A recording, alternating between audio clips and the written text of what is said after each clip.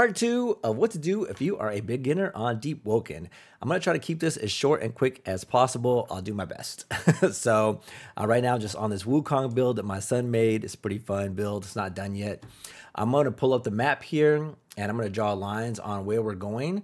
So, it'll be a little easier. I'm going to get us to out of here to the boat and then we'll skip ahead to where we're to land. So I'm to give you a few options, including if you don't want to do trial one, I'm to show you what you would do if you weren't doing trial one, and then a few options on what to do. So of course, if you finish trial one, this is where you're at. That is the trial one entrance. It of course won't let me in right now because we are way too high level. So we're to just get out of here and go to the boat. So you're to run up here. You're to take an immediate left and these guys are to try to attack you. Don't worry about them. Just keep running.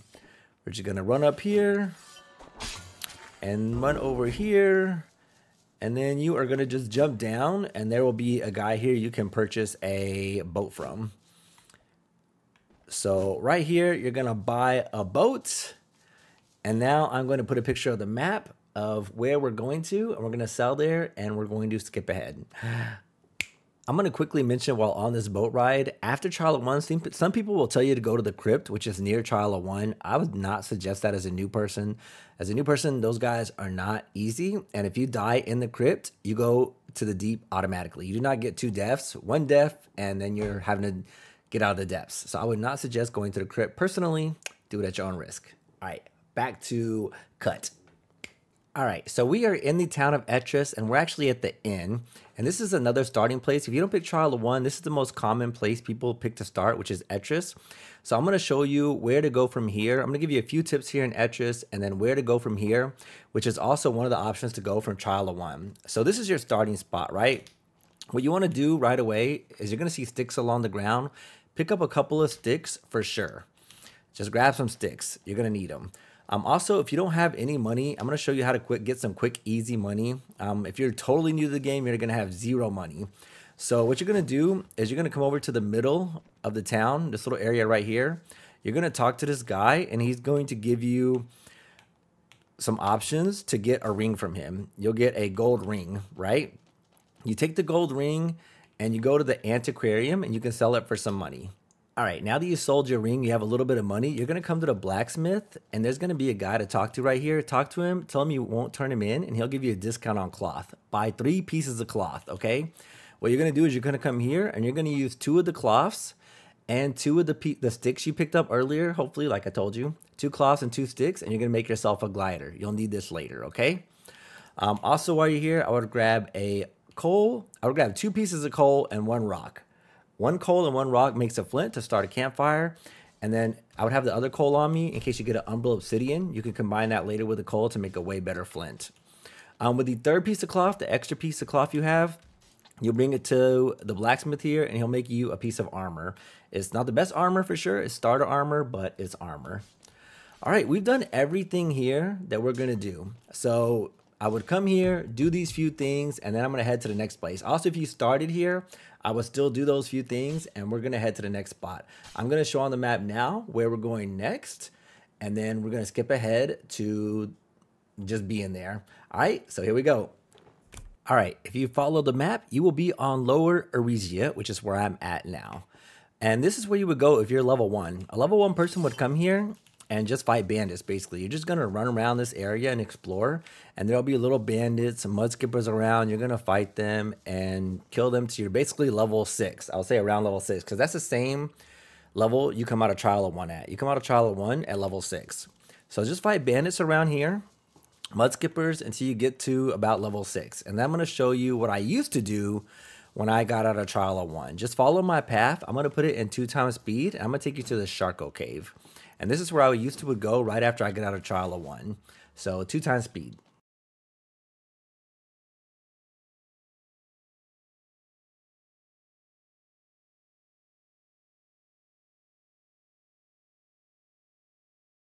All right, if you follow my path, you were here at the Sharko Cave. I used to come here all the time and do this from level 6 to 10. They do drop some decent stuff. They drop a piece of armor in different colors with different stats. They drop Umbral Obsidian, which you can use with the coal to make a better flint. And they drop Megalodon hides, which you can use in different recipes, including one to make a better glider. Two Megalodon hides and two sticks makes a better glider. So I would just come in here, kill these two Sharkos, and then leave out the cave level up a little bit, and then come back and just do the same thing again, right?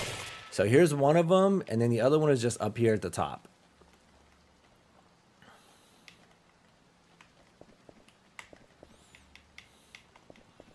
And then here's the other one. So those are the two. I would just kill them over and over again. I would leave the I leave the cave right here. Just exit the cave. They can't follow you past this point, so you're safe if you get right here. I would just come over here, level up a little bit, go back in, they respawn. So that is one place you can go. Another place I'm about to show you right now. Again, I'm going to put it in two times speed. Actually, what I'll do is I'll go back to the beginning where I we started and I'll put it in two times speed and I'll show you how to get to the stone golems next. All right, we're back on the beach. I'm going to show you how to get to the stone golems. It was never my favorite place to go because you would get aggroed a lot of times by multiple of them and there's Sharkos there and you get aggroed by a ton of stuff. It was never really my favorite place to level up, but my son loved it. He always went there and would level up till 10 or 12. So I'm going to go and show you how to get there. Also, getting there is not the easiest thing. Maybe other people know easier ways to get there, but for me, it's not the easiest way to get to or easiest place to get to. I'm going to two times speed it, and here we go.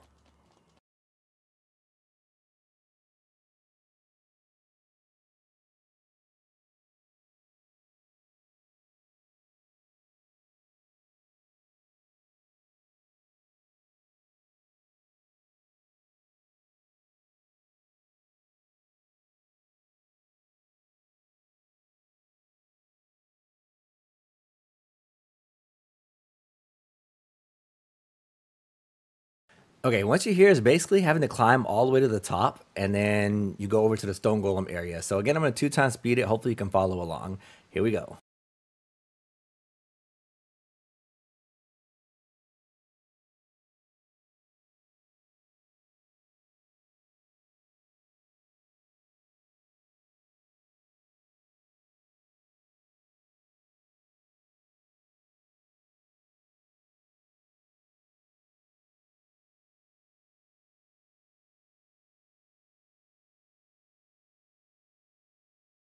All right, so we are at the stone golem place. There's stone golems and sharkos all over the place here. To me, this is a little dangerous, especially if you don't know what you're doing.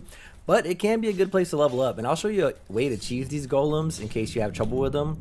So basically what you're to do is you're to get one's attention. Let's just say you can't beat these guys regularly. Get one's attention. Now he's following me. Come on over, big boy. What you do is you climb up here and you get him to fall in the water. So he's gonna fall in the water like that. You wait a second till he falls in the water. Once he's in the water, he can't get out. If you go under the, put him under this log, he's just stuck there. Now you can just smack him away as much as you want. So that's an easy way to beat him.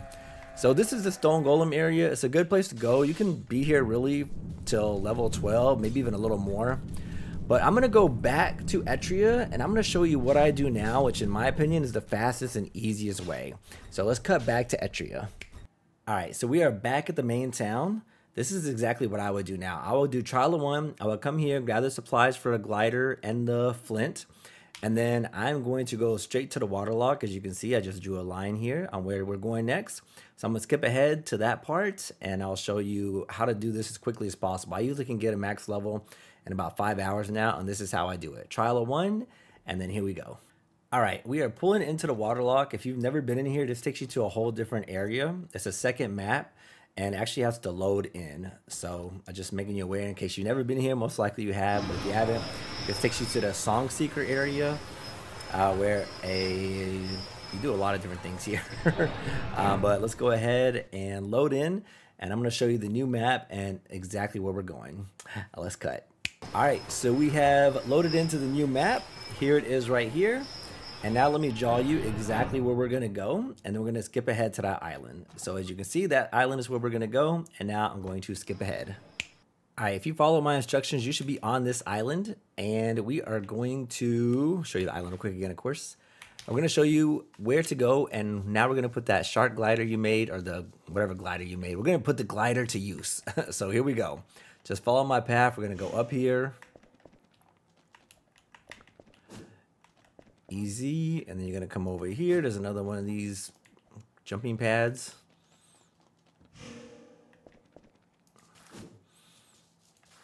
And finally, we're just gonna go up here. And here's the final jumping pad. So here's where you're going to use your glider. You're just going to glide across this big gap to that big area over there. And this is where I level up basically. From as soon as I finish trial of one, that area right there, I level up there from level six to, I mean, you can go all the way to 20, honestly. It doesn't even take that long, really. But I usually do like six to 15. And then I'll go do Ferryman, Kaido, get Ardor, do Kaido, go do Duke, stuff like that and you'll finish up your levels. As you can see, there's a sand a stone golem there, stone knight. There's a stone knight. Every once in a while, you'll see a stone knight here. You might see a sharko here, um, but there's always a ton of people here, so you can usually get help to beat them. And there's this job board over here. I'm going to show you the job board. Mostly all you're going to run into is threshers here. So if you can beat a thresher, you're usually pretty good as long as you don't get aggro by a bunch of them. They're pretty spread out, so it's pretty easy to get one at a time. But you're going to want to come over here, grab every item on this job board, and then just start killing things here. And as you kill things here, we're gonna get attacked here. As you kill things here, you'll complete the job board requirements and you will level up super quickly. So as you do jobs here, there's and everything you kill here really makes a treasure chest. This is a great place to get enchanted items, just a great place to get equipment in general. It's a super great spot to level up at. And let me show you one other thing. So again, we came from there. We're gonna go straight this way and again, you guys may already know about this, but I'm to show you for the people that don't. So you're to come all the way this way. And I'm going to show you the teleport fountains. There's basically fountains all over both maps. About I think there's about 10 fountains in all, maybe a little more than that. There's five fountains out and five fountains in, I believe. So I'm going to show you the fountain. The only thing you need to know about the fountains is you have to do something called washing your face to use the fountains. If you don't know how to do that, you can look it up or you can ask me and I'll try to create a guide on washing your face. But once you do that, you only have to do it one time and then it's available on all your slots. And to use the fountains, you only have to come to this area one time on your news on every slot and you'll always be able to use these fountains. So these are the fountains. They teleport you around. And this town here, Eritale, is a great place to set your home point because this is the spot where all the fountains combine. There's five fountains out from here, and there's five fountains around the map, so it'll teleport you back here. So I think this one is the song. No, this one's to near Duke to Lower Erisia. This is Song Seeker. This is where we just came from. This is Isle of Vigils, and I forget what this one is. I'd have to look it up. Um, but this is where I always set my home point, and then I just go back to where we just came from, which is right here and then back that away to level up on the threshers. Hopefully, I didn't bore you. I know it seems like a lot. I talked a lot. I mean, but if you're new, you might find this interesting. That's pretty much it. Let me know if you have other questions in the comments. I'll try to make videos and respond to them. But that's pretty much the way I do it. Uh, so hopefully you liked what you saw here. Hopefully you like my uh, Wukong build that I'm working on. That's it, guys. Peace and love. Good luck on getting to level 20. Don't get void walked on. And if you don't stream, you don't have to get stream sniped at least. All right, bye, people.